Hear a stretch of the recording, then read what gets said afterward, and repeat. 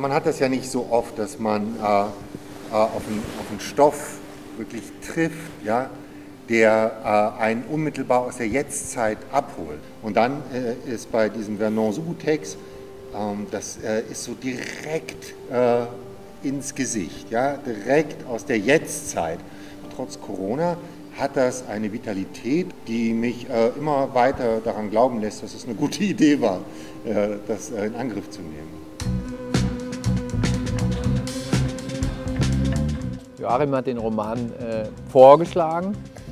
Und ehrlich gesagt äh, bin ich ihm gar nicht böse, ähm, sondern im Gegenteil, er mittlerweile, äh, je länger ich da jetzt äh, dran bin, ähm, war mir nicht klar, dass, dass das, wie ich jetzt im Moment empfinde, so viel mit mir zu tun hat und so, dass ich da so viel über mich und meine Vergangenheit als äh, Bassist erzählen kann und den ganzen Sehnsüchten die damit verbunden waren und diesen verlorenen Hoffnungen und diesen verlorenen Utopien.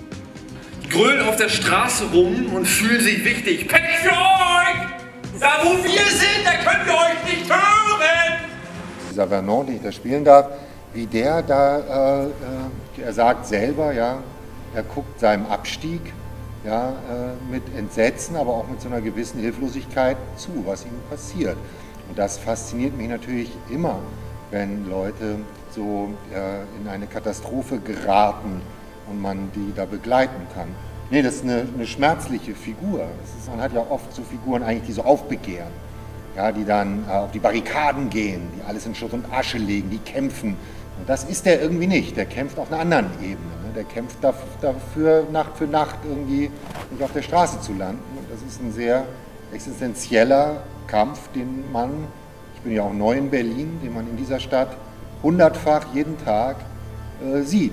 Äh, ist wirklich äh, äh, ein schmerzlicher Stoff, der aber sehr viel Humor hat. Und das war auch einer der Gründe, äh, warum ich das Buch so schätze. Ich finde es eben auch doch bei aller Bitterkeit äh, sehr humorvoll.